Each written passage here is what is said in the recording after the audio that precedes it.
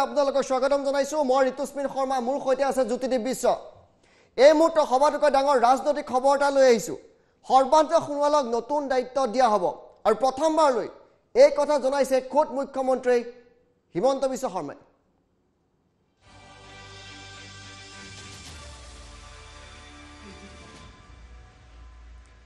কেন্দ্ৰৰ সিদ্ধান্তৰ কথা ৰাজহুৱা কৰিছে মুখ্যমন্ত্ৰী হিমন্ত বিশ্ব শৰ্মাই। জে পি নাড্ডাই দিল্লীৰ বৈঠকত এই কথা জনাইছিল সৰ্বানন্দ সোণোৱাল হিমন্ত বিশ্ব শৰ্মাক। জে পি নাড্ডাই কি কৈছিল? আজি দিল্লীত সদৰি কৰিলে হিমন্ত বিশ্ব শৰ্মাই। পাঁচ বছৰ অসম চলাব হিমন্ত বিশ্ব শৰ্মাই জে পি নাড্ডাই এই কথা কৈছিল। সৰ্বানন্দ সোণোৱালক নতুন দায়িত্ব দিয়া হ'ব। এইদৰে বৈঠকত জে পি নাড্ডাই জনাইছিল সৰ্বানন্দ সোণোৱাল আৰু হিমন্ত বিশ্ব শৰ্মাক। এটা বৃহৎ ৰাজনৈতিক খবৰ সৰ্বানন্দ সোণোৱালক নতুন দায়িত্ব দিয়া হ'ব। কেন্দ্ৰৰ সিদ্ধান্তৰ কথা ৰাজহুৱা কৰিছে মুখ্যমন্ত্ৰী হিমন্ত বিশ্ব শৰ্মাই। জে পি নাড্ডাই দিল্লীৰ বৈঠকত এই কথা নিজে জনাইছিল সোণোৱাল আৰু হিমন্ত বিশ্ব শৰ্মাক। আজি দিল্লীত জ্যোতিদীপ হিমন্ত বিশ্ব শৰ্মাই এই কথা ৰাজহুৱা কৰিছে যে সৌদিনা দিল্লীত হোৱা বৈঠকত আচলতে কি কথা কৈছিল? ছাৰ ঋতুস্মিন আটাইতকৈ ডাঙৰ খবৰটোৱে হৈছে যে আজি মুখ্যমন্ত্ৰীগৰাকীয়ে নিজেই দিল্লীত সংবাদ মাধ্যমৰ আগত কৈছে যে যিখন বৈঠকত আচলতে doctor Himanta Biswa Sarma J P Nadda আৰু সৰ্বানন্দ সোণোৱাল উপস্থিত আছিলে কেন্দ্ৰীয় নেতৃত্ব আছিলে সেই বৈঠকত জে পি নাড্ডাই স্পষ্টভাৱে কৈছিলে যে পাঁচ বছৰ ডক্টৰ হিমন্ত বিশ্ব শৰ্মাই অসম চলাব আৰু সৰ্বানন্দ সোণোৱালক নতুন দায়িত্ব দিয়া হ'ব। এতিয়া প্ৰশ্ন উত্থাপিত হ'ব পাৰে যে সৰ্বানন্দ সোণোৱালক কি দায়িত্ব দিয়া হ'ব? সাংবাদিকে আজি ডক্টৰ হিমন্ত বিশ্ব শৰ্মাক প্ৰশ্ন কৰিছিলে যে সৰ্বানন্দ সোণোৱালক দিল্লীলৈ পঠিওৱা হ'ব নেকি? দিল্লীলৈ পঠিয়াই কেন্দ্ৰীয় মন্ত্ৰীৰ বাব দিয়া হ'ব নেকি? ইয়াৰ উত্তৰত হিমন্ত বিশ্ব শৰ্মাই কৈছে এই কথা কেন্দ্ৰীয় নেতৃত্বই জানে কিন্তু হিমন্ত বিশ্ব শৰ্মাই প্ৰথমবাৰৰ বাবে ৰাজহুৱা কৰিছে যে পাঁচ বছৰ হিমন্ত বিশ্ব শৰ্মাই অসম চলাব আৰু সৰ্বানন্দ সোণোৱালক ঋতুস্মিন নতুন দায়িত্ব দিয়া হ'ব। এই নতুন দায়িত্ব কি হ'ব? ইয়াক লৈ কিন্তু এই মুহূৰ্তৰ পৰাই চৰ্চা আৰম্ভ হৈ যাব। নতুন দায়িত্ব কি হ'ব? সেয়া আমি কথা পাতিম কিন্তু হিমন্ত বিশ্ব শৰ্মাৰ দিল্লীত কি কৈছিলে আজি? শুনাই লৈছোঁ। মুখ্যমন্ত্ৰী আহ, সোণোৱাল ডাঙৰীয়া আৰু মোৰ আৰু কেন্দ্ৰীয় নেতৃত্বৰ মাজত বৈঠক হৈছিল। তেতিয়া নাড্ডা ডাঙৰীয়া এইটোৱে কৈছিলে যে ইয়ে পাঁচ সাল আছাম হিমন্ত চম্ভালেগা আৰু সোণোৱালকো নয়া জিম্মেদাৰী দিয়া যায়গা। এতিয়া সেইটো মই নাজানো আৰু। তেওঁৰ ওপৰতো আৰু মইতো কমেণ্ট দিব নোৱাৰো। এই দুটা শব্দই তেওঁলোকে কৈ গোটেই আলোচনাটো সামৰিছিলে। গতিকে ফাইনেল লাইন দুটা আছিলে এইটো যে মই পাঁচ বছৰ অসম চাম আৰু সোণোৱাল ডাঙৰীয়াই নতুন দায়িত্ব পাব। এতিয়া আমাৰ পাৰ্টিত সকলোৱে দায়িত্ব ইভেন জিলা এখন চাব দিয়াটো দায়িত্ব মন্ত্ৰী হ'ব দিয়াও দায়িত্ব মুখ্যমন্ত্ৰীও দায়িত্ব কেন্দ্ৰীয় মন্ত্ৰীও দায়িত্ব আনকি প্ৰধানমন্ত্ৰীও দায়িত্ব বুলিয়ে লোৱা হয়। সেইকাৰণে কি হ'ব কি নহ'ব মোৰ কোৱাৰ অধিকাৰ নাই। কিন্তু এটা কথা মই জানো যে তেখেতৰ অভিজ্ঞতা বা তেখেতৰ যিখিনি আজি ক'ব গ'লে যিটো এক্সপিৰিয়েঞ্চ তেওঁ গেইন কৰিলে যে চেণ্ট্ৰেল মিনিষ্টাৰ আৰু চিফ মিনিষ্টাৰ এই দুইটাকে ৰাইজ আৰু দেশৰ সেৱাত দলে নিশ্চিতভাৱে বিনিয়োগ কৰিব। সিদিনাখন মুখ্যমন্ত্ৰী সোণোৱাল ডাঙৰীয়া আৰু মোৰ আৰু কেন্দ্ৰীয় নেতৃত্বৰ মাজত বৈঠক হৈছিল। তেতিয়া নাড্ডা ডাঙৰীয়া এইটোৱে কৈছিলে যে ইয়ে পাঁচ সাল আছাম হিমন্ত চম্ভালেগা আৰু সোণোৱালকো নয়া জিম্মেদাৰী দিয়া যায়গা এতিয়া সেইটো মই নাজানো আৰু তেওঁৰ ওপৰতো আৰু মইতো কমেণ্ট দিব নোৱাৰো এই দুটা শব্দই তেওঁলোকে কৈ গোটেই আলোচনাটো সামৰিছিলে গতিকে ফাইনেল লাইন দুটা আছিলে এইটো যে মই পাঁচ বছৰ অসম চাম আৰু সোণোৱাল ডাঙৰীয়াই নতুন দায়িত্ব পাব এতিয়া আমাৰ পাৰ্টিত সকলোৱে দায়িত্ব। ইভেন জিলা এখন চাব দিয়াটো দায়িত্ব মন্ত্ৰী হ'ব দিয়াও দায়িত্ব মুখ্যমন্ত্ৰীও দায়িত্ব কেন্দ্ৰীয় মন্ত্ৰীও দায়িত্ব আনকি প্ৰধানমন্ত্ৰীও দায়িত্ব বুলিয়ে লোৱা হয়। সেইকাৰণে কি হ'ব কি নহ'ব মোৰ কোৱাৰ অধিকাৰ নাই। কিন্তু এটা কথা মই জানো যে তেখেতৰ অভিজ্ঞতা বা তেখেতৰ যিখিনি আজি ক'ব গ'লে যিটো এক্সপিৰিয়েঞ্চ তেওঁ গেইন কৰিলে যে চেণ্ট্ৰেল মিনিষ্টাৰ আৰু চিফ মিনিষ্টাৰ এই দুইটাকে ৰাইজ আৰু দেশৰ সেৱাত দলে নিশ্চিতভাৱে বিনিয়োগ কৰিব। সিদিনা আৰু এই মুহূৰ্তত সবাতোকৈ ডাঙৰ এটা ৰাজনৈতিক বিগ ব্ৰেকিং সৰ্বানন্দ সোণোৱালক নতুন দায়িত্ব দিয়া হ'ব। কেন্দ্ৰৰ এই সিদ্ধান্তৰ কথা প্ৰথমবাৰলৈ ৰাজহুৱা কৰিছে মুখ্যমন্ত্ৰী হিমন্ত বিশ্ব শৰ্মাই। জে পি নাড্ডাই দিল্লীৰ বৈঠকত এই কথা জনাইছিল সৰ্বানন্দ সোণোৱাল হিমন্ত বিশ্ব শৰ্মাক। জে পি নাড্ডাই কি কৈছিল? আজি দিল্লীৰ সদৰি কৰিছে হিমন্ত বিশ্ব শৰ্মাই। পাঁচ বছৰ অসম চলাব হিমন্ত বিশ্ব শৰ্মাই। আৰু সৰ্বানন্দ সোণোৱালক নতুন দায়িত্ব দিয়া হ'ব। কি হ'ব পাৰে নতুন দায়িত্বত জ্যোতিদ্বীপ বৈশ্যৰ কাষলৈ গৈছোঁ।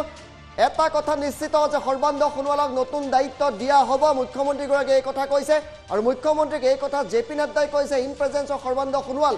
কি হ'ব কি দায়িত্ব হ'ব পাৰে অপশ্যন কি কি খোলা আছে? হয় ঋতুস্মিন এটা কথা চাওক আজি যদি ডক্টৰ হিমন্ত বিশ্ব শৰ্মাৰ মন্তব্যত আপুনি এটা কথা চাই তেওঁ এটা বিশেষ কথা উল্লেখ কৰিছে সৰ্বানন্দ সোণোৱাল এগৰাকী মুখ্যমন্ত্ৰী আছিল আৰু তাৰ পূৰ্বে তেওঁ কেন্দ্ৰীয় মন্ত্ৰী আছিলে। অৰ্থাৎ বিজেপিৰ কেন্দ্ৰীয় নেতৃত্ব হিমন্ত বিশ্ব শৰ্মাই কৈছে যে মুখ্যমন্ত্ৰী সৰ্বানন্দ সোণোৱালৰ অভিজ্ঞতা তেখেতে মুখ্যমন্ত্ৰী হৈ থাকোঁতে তেওঁ যি অভিজ্ঞতা পাইছিলে আৰু কেন্দ্ৰীয় মন্ত্ৰী হৈ থকা অৱস্থাত সৰ্বানন্দ সোণোৱালৰ যি অভিজ্ঞতা এই অভিজ্ঞতাখিনি ব্যৱহাৰ কৰি তেখেতক দায়িত্ব দিব নতুন দায়িত্ব দিব। আৰু এই কথা আজি হিমন্ত বিশ্ব শৰ্মাই প্ৰধানমন্ত্ৰীক কেন্দ্ৰীয় নেতৃত্বক সাক্ষাৎ কৰাৰ পিছত হঠাতে সংবাদমেল পাতি আজি এই কথাখিনি পুনৰবাৰ কোৱাটোৱে কিন্তু এটা ছিগনিফিকেণ্ট এটা কথাই স্পষ্ট কৰিছে যে সৰ্বানন্দ সোণোৱালক নতুন দায়িত্ব দিয়া হ'ব। এতিয়া এটা প্ৰশ্ন স্বাভাৱিকতে মনত আহিব। ইয়াৰ পূৰ্বে সৰ্বানন্দ সোণোৱাল কেন্দ্ৰীয় মন্ত্ৰী আছিলে যে পুনৰবাৰ সৰ্বানন্দ সোণোৱালক কেন্দ্ৰীয় মন্ত্ৰীৰ দায়িত্ব দিয়া হ'ব নেকি? অৱশ্যে সৰ্বানন্দ সোণোৱালৰ যি যিসকল সৰ্বানন্দ সোণোৱালৰ সমৰ্থক আছে যিসকল ঘনিষ্ঠ আছে তেওঁলোকে ক'ব বিচাৰিছে সৰ্বানন্দ সোণোৱাল মাজুলীতে থাকিব বিচাৰিছে বিধায়ক হিচাপে। কিন্তু সৰ্বানন্দ সোণোৱালে কেৱল বিচাৰিলেই নহ'ব কেন্দ্ৰীয় নেতৃত্বই তেওঁৰ পৰা বহু- কথা বিচাৰিব পাৰে আৰু হয়তো সৰ্বানন্দ সোণোৱালক কোনো কেন্দ্ৰীয় মন্ত্ৰিত্বৰ বাদ দিয়া হ'ব পাৰে। আই এন বি মিনিষ্ট্ৰীৰ কথা উলি আছে মাইন্সৰ মিনিষ্ট্ৰীৰ কথা চলি আছে বিভিন্ন মন্ত্ৰিত্বৰ কথা চলি আছে। গতিকে সৰ্বানন্দ সোণোৱালক কেন্দ্ৰীয় মন্ত্ৰীৰ দায়িত্ব দিয়া কেবিনেট মন্ত্ৰীৰ দায়িত্ব দিয়াৰ সম্ভাৱনা যথেষ্ট আছে আৰু তাৰে ইংগিত হয়তো হিমন্ত বিশ্ব শৰ্মাই দিছে ঋতুস্মিত ইতিমধ্যে কিন্তু কেন্দ্ৰীয় মন্ত্ৰীসভাৰ শীঘ্ৰে হয়তো ৰিচাফুল হ'ব কাৰণ বহুত পদ খালী আছে বহু মন্ত্ৰী খালী আছে কোনোবা ঢুকাইছে কোনোবাই এৰি থৈ গৈছে।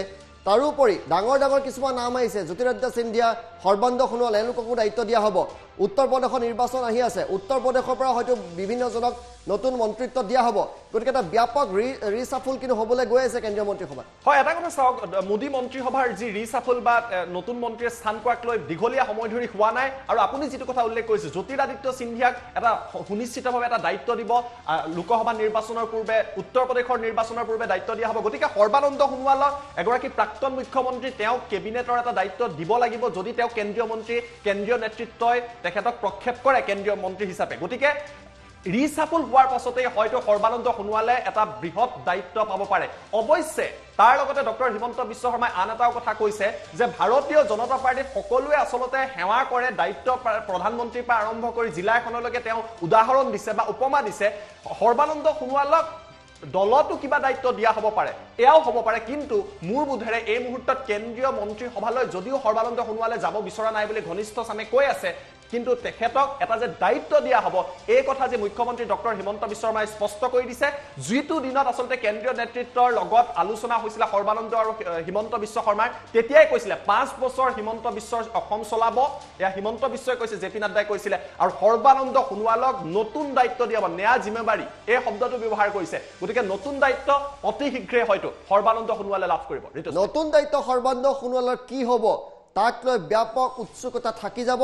সৰ্বানন্দ সোণোৱাল কেন্দ্ৰীয় মন্ত্ৰী হ'ব সৰ্বানন্দ সোণোৱাল সভাপতি হ'ব নে আন কিবা দায়িত্ব দিয়া হ'ব এই মুহূৰ্তত সভাটোকে ডাঙৰ প্ৰশ্ন।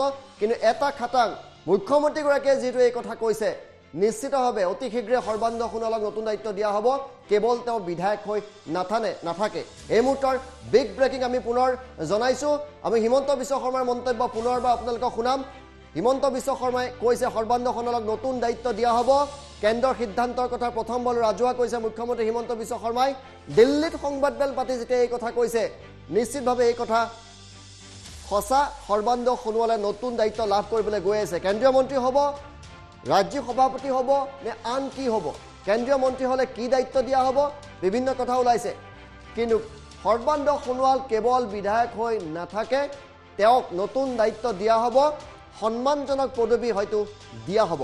শুনক হিমন্ত বিশ্ব শৰ্মাৰ আজিৰ সেই ঘোষণা। মুখ্যমন্ত্ৰী সোণোৱাল ডাঙৰীয়া আৰু মোৰ আৰু কেন্দ্ৰীয় নেতৃত্বৰ মাজত বৈঠক হৈছিল। তেতিয়া নাড্ডা ডাঙৰীয়া এইটোৱে কৈছিলে যে ইয়ে পাঁচ সাল আসাম হিমন্ত সম্ভালেগা আৰু সোণোৱালকো নয়া জিম্মেদাৰি দিয়া যায়গা। এতিয়া সেইটো মই নাজানো আৰু। তেওঁৰ ওপৰতো আৰু মইতো কমেণ্ট দিব নোৱাৰো। এই দুটা শব্দই তেওঁলোকে কৈ গোটেই আলোচনাটো সামৰিছিলে।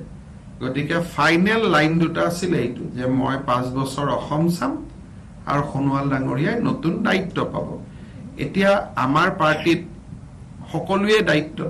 ইভেন জিলা এখন চাব দিয়াটো দায়িত্ব মন্ত্ৰী হ'ব দিয়াও দায়িত্ব মুখ্যমন্ত্ৰীও দায়িত্ব কেন্দ্ৰীয় মন্ত্ৰীও দায়িত্ব আনকি প্ৰধানমন্ত্ৰীও দায়িত্ব বুলিয়ে লোৱা হয়। সেইকাৰণে কি হ'ব কি নহ'ব মোৰ কোৱাৰ অধিকাৰ নাই।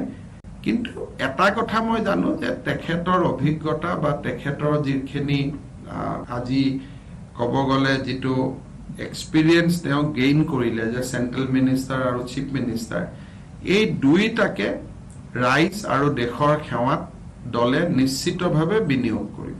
সিদিনাখন মুখ্যমন্ত্ৰী সোণোৱাল ডাঙৰীয়া আৰু মোৰ আৰু কেন্দ্ৰীয় নেতৃত্বৰ মাজত বৈঠক হৈছিল। তেতিয়া নাড্ডা ডাঙৰীয়া এইটোৱে কৈছিলে যে ইয়ে পাঁচ চাল আছাম হিমন্ত সম্ভালেগা আৰু সোণোৱালকো নয়া জিম্মেদাৰি দিয়া যায়গা। এতিয়া সেইটো মই নাজানো আৰু। তেওঁৰ ওপৰতো আৰু মইতো কমেণ্ট দিব নোৱাৰো। এই দুটা শব্দই তেওঁলোকে কৈ গোটেই আলোচনাটো সামৰিছিলে। গতিকে ফাইনেল লাইন দুটা আছিল এইটো যে মই পাঁচ বছৰ অসম চাম আৰু সোণোৱাল ডাঙৰীয়াই নতুন দায়িত্ব পাব। এতিয়া আমাৰ পাৰ্টিত সকলোৱে দায়িত্ব ইভেন জিলা এখন চাব দিয়াটো দায়িত্ব মন্ত্ৰী হ'ব দিয়াও দায়িত্ব মুখ্যমন্ত্ৰীও দায়িত্ব কেন্দ্ৰীয় মন্ত্ৰীও দায়িত্ব আনকি প্ৰধানমন্ত্ৰীও দায়িত্ব বুলিয়ে লোৱা হয়। সেইকাৰণে কি হ'ব কি নহ'ব মোৰ কোৱাৰ অধিকাৰ নাই। কিন্তু এটা কথা মই জানো যে তেখেতৰ অভিজ্ঞতা বা তেখেতৰ যিখিনি আজি ক'ব গ'লে যিটো এক্সপিৰিয়েঞ্চ তেওঁ গেইন কৰিলে যে চেণ্ট্ৰেল মিনিষ্টাৰ আৰু চিফ মিনিষ্টাৰ এই দুইটাকে ৰাইজ আৰু দেশৰ সেৱাত দলে নিশ্চিতভাৱে বিনিয়োগ